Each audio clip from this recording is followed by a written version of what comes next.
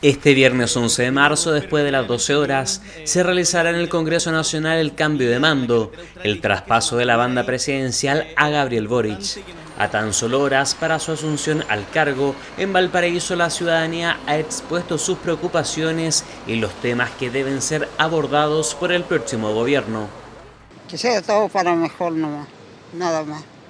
Está muy decaído Valparaíso y esperemos que, eh, bueno, este nuevo gobierno haga algo por, nuestro puerto, que está muy abandonado.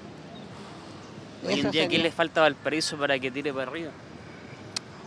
Eh, bueno, yo creo que las calles están sumamente malas, los cerros sobre todo, y bueno, eh, trabajo para la gente, porque muchas personas van a la calle a trabajar por un pan diario. Que haya, que haya muchas modificaciones ¿no? ¿Ah? ¿Como cuáles, por ejemplo? Bueno, en todo el orden de, cosas. En la salud, en la, en la educación. Bueno, que sea un buen presidente y que, bueno, porque acoja todas las solicitudes del pueblo. Y así saque adelante el país. Más carabinero, menos delincuencia, uno no puede andar tranquilo, tiene que andar bien con las cosas bien escondidas, porque si no, tú vas caminando y te le pierden las cosas, sí, pues.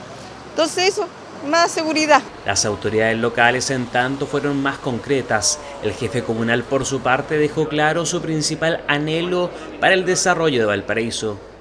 Un hospital, esperamos que de una vez por todas el gobierno que, que asume que no es responsable de los fracasos del gobierno anterior, evidentemente, se ponga con Valparaíso y, y avancemos la construcción de un nuevo Amburen.